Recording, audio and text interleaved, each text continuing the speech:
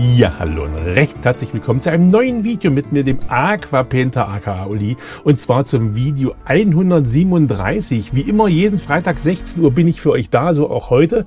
Und heute denke ich mir mal, mach mal was ganz anderes als Geländebau, was wir die letzten Tage immer oder Wochen immer gemacht haben. Okay, das hält alles ein bisschen auf, deswegen dauert das mal ein kleines bisschen. Aber heute gehen wir mal wieder in die Feinheiten rein. Und zwar habt ihr es ja gerade gesehen, ich baue ein Tunnelportal und zwar mit Hilfe meines 3D-Druckers beziehungsweise bin ich jetzt hier im Hintergrund gerade mit meinem 3D-Programm, nicht wirklich mit meinem 3D-Programm, sondern mit dem 3D-Druckprogramm Cura unterwegs, dort wo ich meine Drucke alle schön angepasst habe, um das meinen Bedürfnissen anzupassen, denn dieses Modell habe ich mir ähm, aus dem Internet besorgt. Das kann ich euch gerne verlinken. Dazu komme ich vielleicht ein bisschen später im Video nochmal zu sprechen. Und habe mir das natürlich anpassen müssen an meine Bedürfnisse. Ich wollte es erst ähnlich erstellen, schnake so ein bisschen die Tage durchs Internet. Ich denke, hups, ich hatte ja Zeit. Ne? Ich denke, hups, das gefällt dir aber richtig gut, weil das so schön plastisch ist. Bis jetzt hatte ich ja die meisten meiner Tunnelportale immer so flach gemacht und ihr wisst ja mit Magnete angebracht und so weiter.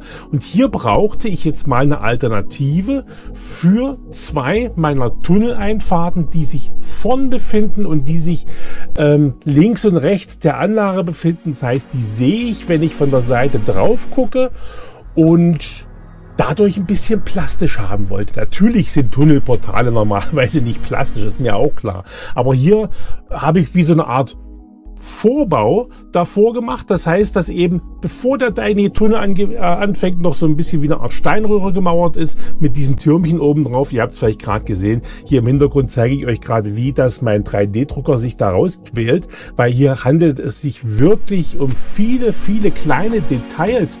Und ich muss gerade sagen, die Türmchen oben drauf, die habe ich bestimmt zehnmal ausdrucken müssen. Aber das war nochmal 6 Gramm Filament oder sowas. Also das ist also relativ äh, entspannt alles zu sehen. Ja, ich habe mich ja nicht in Kosten gestürzt. Das ist ja das Schöne an den 3D-Drucker. Wenn es einem nicht gefällt, dann macht man es nochmal, dann passt man das Ganze ein bisschen an und dann wird es auch ein bisschen hübscher irgendwo, so wie man sich das vorstellt. Natürlich ist es kein gekauftes Modell.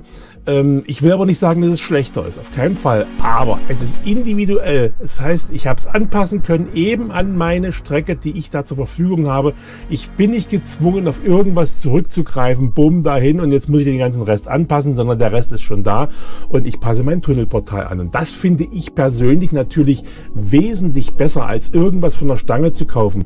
Ihr wisst ja vielleicht, das meiste bei meiner Anlage möchte ich, das ist ja das, was ich von Anfang an schon sage, mittlerweile seit über zwei Jahren, möchte ich ja selber bauen bei meiner Anlage. Ich heißt, ich möchte mir da Gedanken machen, wie soll es werden. Natürlich habe ich mir jetzt hier was beschafft.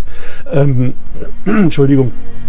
Olle Frosch im Hals macht mich wahnsinnig. Die habe ich seit Wochen schon bei da drinnen hängen ähm, und möchte alles natürlich nach meinen Bedürfnissen anpassen, was nicht bedeutet, dass ich komplett nichts kaufen werde, aber wer sich gerade erinnert an so meine Fabriksachen und sowas alles, das habe ich eben komplett selber alles gemacht. Ja, alles aus dem 3D-Drucker, alles schön bemalt, bearbeitet.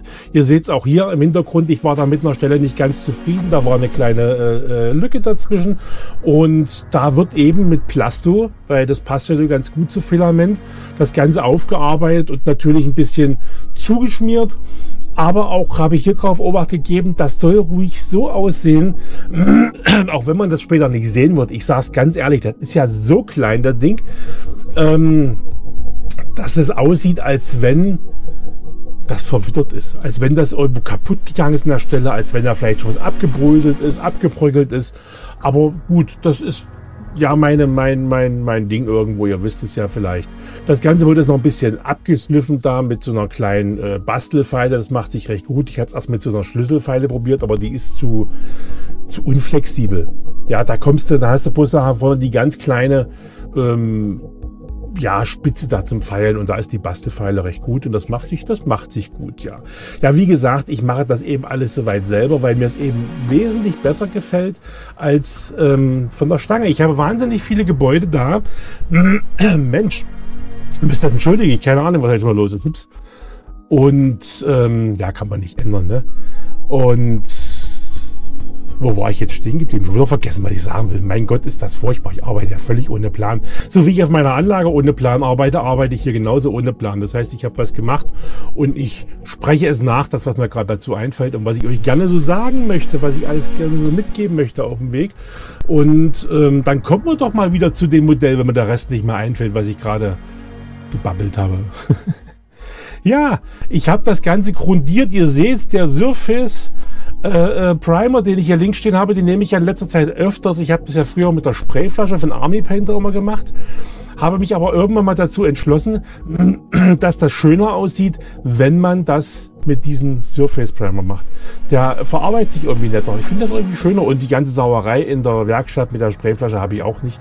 Ich bemal das einfach. Und es soll ja sowieso nicht homogen bemalt sein. Es soll ja schön fleckig. Naja, fleckig soll es nicht sein, aber ihr wisst, was ich meine. Es soll nicht eine einzige Farbschicht werden. Ich will ja kein Auto lackieren, sondern ich möchte ja was machen, was irgendwo in der, in der Natur steht, was verwittert ist, was ein bisschen ja, gelitten hat über die Jahre. Und das versuche ich halt hier hinzubekommen. Jetzt mache ich über den Primer, der ja doch recht weiß ist, oder eigentlich ist er weiß, aber er wirkt immer ein bisschen grau, weil ja das, der Druck bei mir immer schwarz ist. Ich drucke ja ganz gerne in schwarzer Farbe. Kam jetzt graue Farbe nochmal drüber. Aber auch hier nicht gleichmäßig. Wirklich so, dass das immer so ein bisschen, ähm, naja, ungleichmäßig ist. Ihr wisst, was ich meine, wenn ich das sage. Also ein bisschen äh, äh, wild gemalt irgendwo. Um den ganzen jetzt die Krone aufzusetzen, habe ich jetzt noch Steinfarbe genommen, das ist in dem Fall von Revell, und habe einzelne Steine, ähm, bemale ich ungefähr ein Drittel, kann man sagen, von meinem ganzen jetzt hier ähm, ich habe gerade gelesen, was da unten stand, deswegen habe ich gerade so von mich hin erzählt. Ähm, um da nochmal eine andere Farbnuance reinzugeben. Ihr werdet auch später hier sehen, das ist nachher kaum noch zu sehen. Es ist das wirklich, wenn man näher rangeht und sagt, aha, ich verstehe, dass man eben ein paar Farben drin hat. Jetzt habe ich hier so ein dunkelgrün gewählt und dieses dunkelgrün, das ist mehr so ein Moosgrün oder, oder, oder, oder Olivgrün kann man sagen. Und damit habe ich die Bereiche ausgemalt, die im Schatten liegen sollen.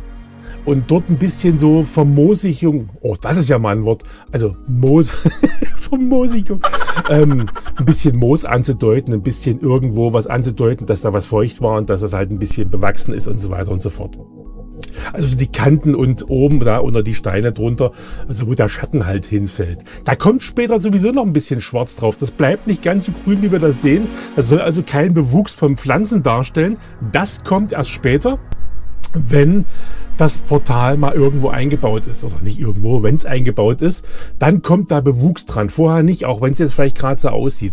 Jetzt mache ich erstmal alles nass, damit ich jetzt im Anschluss mit der schwarzen Wash da nochmal richtig ordentlich drüber kann. Das heißt, die ganzen Mauerfugen, ich hatte das überlegt, mach sie die hell, mach sie die dunkel, aber bei Grauenstein und ich mag sowieso die schwarzen Mauerfugen lieber als die ähm, hellen Mauerfugen, weil das passt irgendwie nicht ganz so in mein Thema rein vom Steampunk. Deswegen passt das ganz gut und das durch das Wasser läuft das schön in die Ritzen von dem Mauerwerk rein. Und jetzt versuche ich natürlich an den Stellen, wo es später dunkel sein soll, auch mehr Farbe drauf zu geben. mehr Farbe drauf zu geben, damit es eben dort dunkler ist, ja. Das sieht natürlich jetzt, wenn es hier so nass ist, alles ein bisschen abenteuerlich aus. Und denkt, oh gut, wenn es geregnet hätte, könnte es vielleicht so aussehen. Aber das trocknet ja alles. Und es hält unglaublich auf. Ihr seht das jetzt hier. Es hat gar nichts mehr damit zu tun. Wenn man jetzt die Seiten sieht, sieht man es natürlich, dass da doch die Wash ganz schön ihren Dienst getan hat. Und die Seiten muss ich jetzt natürlich auch noch machen. Erstmal habe ich es vorne abtrocknen lassen. Aber man sieht eben auch, dass diese grauen steingrau einzelnen Steinchen, die ich da bemalt habe, das kommt gar nicht mehr so raus. Ja, das ist also tatsächlich, wenn man da Farbe nochmal oder Wasch drüber bringt, ist das irgendwo alles ähm, ja doch äh, gesamtdunkler geworden irgendwie. Und ähm, Dadurch ist das natürlich jetzt ein bisschen unauffälliger. Und das Unauffällige mag ich ja sowieso, wenn man wirklich rangeht und sagt, aha, guck mal, hier sind helle Stellen dazwischen, dunkle Stellen dazwischen. Manchmal hat auch die Wash bisschen besser gehaftet. Ich finde das super. Gefällt mir persönlich sehr gut. Ist wieder mal ein Objekt, was man irgendwo aus der Nähe, äh, ja, sich angucken könnte. Deswegen, das ist ganz, ganz vorne an der Anlage. Ihr werdet es später sehen. Ich glaube, ganz zum Schluss zeige ich noch mal ein Bild, wo es zum Schluss hinkommt. Ist es dort zwar noch nicht eingebaut, weil da fehlt ja noch jede Menge an Landschaft, was ich ringsherum machen muss. Aber man sieht schon, wo es irgendwo hinkommt. Also ich mache es eben nicht so graue Farbe drauf fertig, sondern ich möchte es alles schön, also selbst von hinten, guck mal, das ist das Portal von hinten, sieht kein Mensch, sogar von unten sieht kein Mensch, weil es wird eingebaut. Aber ich habe es abnehmbar. Die meisten werden es von euch wissen, ich nehme das Ding ja ab. Also ich habe es irgendwann in der Hand. Und wenn ich es irgendwann in der Hand halte, irgendwann mal in ein paar Jahren, und mir das von hinten angucke und sage, i, nee, das will ich auch nicht. Deswegen wird das alles von allen Seiten schön mitbemalt. Jetzt auch selbst von hinten dort, wo man es gar nicht sehen könnte. Da müsste man ja irgendwo in der Anlage drinnen sitzen. Aber warum nicht? Man kann es doch von hinten genauso schön gestalten. Ich glaube, selbst dort werde ich so kleine Sachen platzieren. Meine Kiste hinstellen oder irgendwas in der Art. Natürlich kommen da auch Preiserlines später drauf. Die sind natürlich jetzt noch gar nicht da. Dazu muss ich ja erstmal den ganzen Bereich da oben, die Landschaft da ringsrum fertig haben, damit das irgendwie da so, naja, drauf kann, ja. Und ja, und jetzt kommt noch ein paar Einzelheiten. Jetzt habe ich hier noch eine grüne Wurst, das kommt dann unten hin. Das heißt, das Mauerwerk von unten ist ein bisschen feuchter geworden und, und, und. Die vielen, vielen Kleinigkeiten, die später wahrscheinlich nie einer sehen wird. Aber ich bin der Meinung, das ist, wenn man sich eine Anlage anguckt, das sehe ich auch bei vielen, die eine fertige Anlage haben von euch ähm, es ist ein Gesamtbild irgendwo zum Schluss. Und das Gesamtbild ist doch, was zählt. Und wer das Bedürfnis hat, mal näher ranzugehen und zu sagen, ich gucke mir das ein bisschen dichter an, ich gucke mir das ein bisschen mehr aus der Nähe an, kann das gerne machen. Und hier sehen wir es. Da kommt's hin, da wo ich nämlich jetzt in den letzten Tagen gearbeitet habe. Das ist ja diese abnehmbare ehemalige schwarze Stelle. Und genau da kommt's hin. Und jetzt sehen wir schon, man sieht kaum, was ich da gemacht habe. Aber wer gerne rangehen will, kann gerne rangehen. Finde ich super, mir persönlich gefällt's. Macht's schön gut für diese Woche. Wir sehen uns nächsten Freitag, 16 Uhr, sofern ihr wollt. Bis dahin, tschüss, euer Uli aka Aquapinter. Ciao.